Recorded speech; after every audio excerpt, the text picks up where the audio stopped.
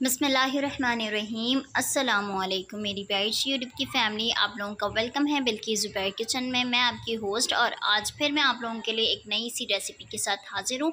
आज मैं आप लोगों को बनाना सिखाऊँगी कि स्पेशल दही चिकन कौरमा आप अपने घर पर किस तरह से बना सकते हैं और इन ताला स्टेप बाय स्टेप आपको पूरी रेसिपी डिटेल में देने की कोशिश करूँगी। I hope so this recipe is very helpful for you and you will be like it very well. चलें स्टार्ट करते हैं इस रेसिपी को और अपने और आपने चैनल को लाइक एंड सब्सक्राइब ज़रूर करना है। सारी वीडियो को लाइक कीजिएगा चैनल को ज़रूर सब्सक्राइब कीजिएगा, क्योंकि ये सारी रेसिपीज़ मैं आप लोगों के लिए लेकर आती हूँ ताकि आप लोग इससे लुत्फ़अंदोज़ हों और बहुत ज़्यादा खुश हो जाएँ और मेरे चैनल को लाइक एंड सब्सक्राइब करें और मुझे सपोर्ट करें। तो यहाँ पर मैंने थ्री मीडियम साइज़ के प्याज दिए थे, जिन्हें मैंने स्लाइसिस में कट के इन्हें रखा है ब्राउन करने के लिए। आगे के इन्ग्रीडियंट्स की जानब चलते हैं। तो यहाँ पर मैंने लिए हैं बहुत सारे इन्ग्रीडियंट्स जो आपको दिख रहे होंगे तो स्टार्ट करते हैं प्यारे से चिकन के साथ। तो यहाँ पर मेरे पास है वन एंड हाफ़ के जी चिकन चिकन की यहाँ पर मैंने थोड़ी सी बड़ी बूटी रखी है, क्योंकि अगर आप मेहमानों के सामने सर्व करेंगे या अपने घर वालों के भी सामने सर्व करेंगे तो वहाँ पर भी आपको ज़रूरत होती है बड़ी बूटियों की। तो यहाँ पर मैंने बड़ी बूटी रखी है और one and half teaspoon के करीब मेरे पास सॉल्ट है। यहाँ पर मैंने शान का पैकेट वाला कौरमा मसाला पाउडर लिया है। अगर आप किसी और ब्रांड का यूज़ करना चाहते हैं तो वो भी कर सकते हैं। It's up to you two tablespoon के करीब यहाँ पर मैंने रेड चिली पाउडर ली है। वन टेबल स्पून यहाँ पर मेरे पास है हल्दी पाउडर। चार टमाटर लिए हैं, जिन्हें इस तरह से राउंड शेप में कट किया है और एक पाव के करीब मेरे पास है दही। और सबसे मोस्ट इंपॉर्टेंट थिंग जो आपने यूज़ करना है चिकन में, वो होती है अदरक लहसुन का पेस्ट क्योंकि आपके चिकन में होती है स्मेल और ये इंग्रेडिएंट आपके चिकन के स्मेल को भरपूर तरीके से ख़त्म कर देता है और आप के चिकन को इस तरह बना देता है ताकि आप उसे अच्छी तरीके से खा सकें। और यहाँ पर प्याज को मैंने कुछ ज़्यादा ब्राउन नहीं किया है, ऐसे ब्राउन किया है कि ये लाइट लाइट से ब्राउन भी लगे और ये पिंक पिंक वाले प्याज हों उस टाइप के। और जब आप थोड़ी से लाइट में प्याज को बाहर निकाल देते हैं तो थोड़े टाइम के बाद वो खुद ही थोड़े से डार्क हो जाते हैं तो आपने प्याज को ज़्यादा ब्राउन नहीं करना है। थोड़े से लाइट से ब्राउन हो जाए, उन्हें आपने फ्राई पैन से निकाल लेना है। यहाँ पर चिकन की मैरिनेशन की जानब चलते हैं।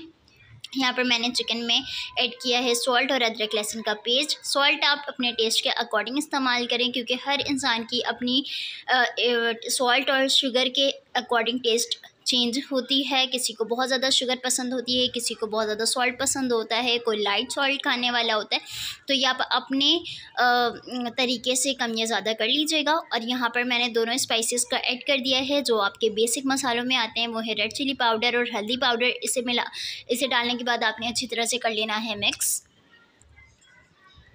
अपने हाथों की मदद से आपने बहुत अच्छी तरह से मिक्स करना है, क्योंकि जो चिकन में मसाले हैं, वो हाथ से ही बहुत अच्छी तरह से लगते हैं, इसलिए आपने इसमें हाथों का इस्तेमाल करना है, हाथों को अच्छी तरह से वॉश करके या फिर हाथों में आप ग्लव्स भी पहन सकते हैं। और यहाँ पर फिर आप इस्तेमाल करें दही। दही मैंने थोड़ी सी पतली वाली ली है, ज़्यादा थिक वाली यहाँ पर दही मैंने इस्तेमाल नहीं की है। अगर आपके पास थिक वाली दही है तो आप वो भी यूज़ करते, कर सकते हैं, लेकिन यहाँ पर थोड़ी सी पतली दही रखें तो ज़्यादा बेटर है, उसको अच्छी तरह से फेंट कर इसमें यूज़ करें। यहाँ पर फिर मैंने ऐड कर दिए हैं कौरमा मसाला पाउडर। शान का कौरमा मसाला पाउडर मैंने लिया है। अगर आप चाहते हैं कि आप नेशनल का यूज़ करें या आप लोकल मार्केट से लाया हुआ शान कौरमा मसाला पाउडर यूज़ करना चाहते हैं तो वो भी कर सकते हैं। ये आपके ऊपर डिपेंड करता है।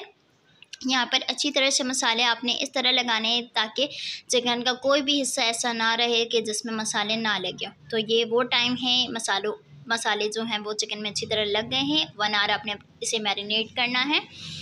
उसके बाद अब हम लोग चलते हैं सॉस पैन की जानब। सॉस पैन में मैंने ऐड किए हैं ऑयल ऑयल वो वाले ऐड किए हैं जिनसे मैंने अनियन को फ्राई किया था। अगर आप फ्रेश ऑयल यूज़ करना चाहते हैं तो वो भी कर लें, लेकिन आप, अगर आपने अनियन के ऑयल को वेस्ट नहीं करना है तो आप इसमें ऐड कर सकते हैं, कोई इशू नहीं है। यहाँ पर मैं ऐड कर रही हूँ कटे हुए टमाटर। चार कटे हुए टमाटर यूज़ किया है। साथ ही मैंने इसमें हरी मिर्चें ऐड करनी है, पाँच से छः अच्छी तरह से इसे आपने चलाना है और उसके बाद इसे ढक देना है क्योंकि टमाटर जो हैं वो स्टीम में ही बहुत अच्छी तरह गलते हैं। इसलिए टमाटर को आपने बहुत अच्छी तरह से स्टीम में गलाना है। टमाटर स्टीम में अच्छी तरह से गल गए हैं। उसके बाद आपने इसमें ऐड कर देना है मैरिनेट हुए हुए चिकन मैरिनेशन टाइम मैंने वन आवर का रखा है। अगर आपके पास ओवर टाइम का टाइम है ओवर नाइट सॉरी ओवरनाइट अगर आप इसे मैरिनेट कर सकते हैं तो आप इसे ओवरनाइट भी मैरिनेट कर लीजिएगा। काफ़ी ज़्यादा अच्छा टेस्ट आता है। मैं ज़्यादातर चीज़ों को ओवरनाइट मैरिनेट करती हूँ। यहाँ पर मेरे पास टाइम कम था तो इस वजह से मैंने यहाँ पर वन आवर मैरिनेट किया है। उसके बाद बारी आती है ब्राउन प्याज की। दस मिनट आपने चिकन को अच्छी तरह से मसालों में भुनने देना है। तब तक आपने यहाँ पर ब्राउन प्याज को अच्छी तरह से चॉपर में डाल के चॉप कर लेना है। इसमें कोई पानी का आपने ऐड नहीं करना है। प्याज इस तरह से आपने चॉप करने हैं ताकि वो थोड़ी सी दुरदुरे रहें मतलब थोड़े से उभरे हुए रहें। जब वो चिकन कौरमा में ऐड होंगे और जब वो आप रोटी के साथ उसे खाएँगे या चावल के साथ उसे खाएँगे तो उसका एक अलग ही टेस्ट आपके मुँह पे आ रहा होगा। ये देखें, इस तरह से आपने दुरदुरे पे प्याज को अच्छी तरह से चॉप कर लेना है। ये देखें।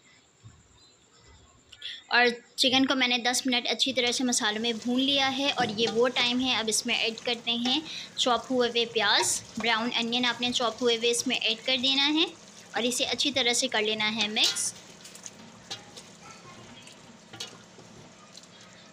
बहुत ही आसान सी ये दही चिकन कौरमे की रेसिपी है, ये आपके गेस्ट अगर आपके घर पे बैठे हुए भी होंगे तो आपको इसे बनाने में मेरे ख़्याल में आधा घंटा लगेगा।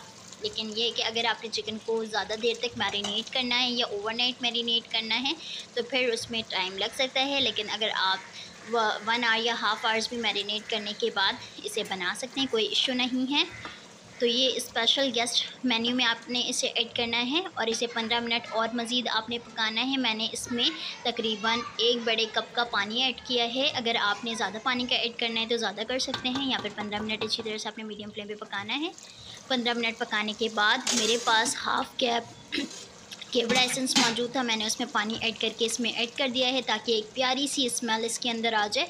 एक प्यारी सी खुशबू हमारे चिकन कौरमे के अंदर आ जाए, दही चिकन कौरमे के अंदर आ जाए तो ये बहुत ही ज़्यादा मज़ेदार लगते हैं। आप यकीन करें, अब बारी है इसे सर्व करने की दो मिनट के दम के बाद बसमीम प्यारी सी दही चिकन कौरमे की रेसिपी मैंने आज आप लोगों के साथ शेयर की है। होपफुली ये रेसिपी आप लोगों को बहुत ज़्यादा अच्छी लगी होगी। वीडियो में कुछ भी अच्छा लगा हो तो वीडियो को ज़रूर लाइक कीजिएगा। वीडियो में अगर कोई भी कन्फ्यूज़न कहीं पर भी रही हो तो मुझे ज़रूर कमेंट में बताएगा कि आपको यहाँ कन्फ्यूज़न रह गई। इन ताला मैं आपकी कन्फ्यूज़न को दूर करने की भरपूर कोशिश करूँगी। साथ ही इस चिकन दही चिकन की रेसिपी मैंने, दही चिकन कौरमे की रेसिपी आपके साथ मैंने शेयर कंप्लीट तौर पे कर लिया है। अब बारी इसे डिश आउट करने की और यहाँ पर मैंने इसे डिश आउट भी कर लिया है। और अब मैं इसे सर्व कर रही हूँ कलरफुल पुलाव के साथ। अगर आप इसे सादे चावल के साथ, पराठे के साथ, नान के साथ, तंदूर की रोटी के साथ, ताफ्तान रोटी के साथ, किसी के साथ भी नोश फरमाना चाहते हैं तो नोश फरमाएँ। मुझे दें इजाज़त, मिलती हूँ नेक्स्ट रेसिपी के साथ। तब तक के लिए मुझे अपने दुआ में याद रखिएगा। अल्लाह हाफिज़।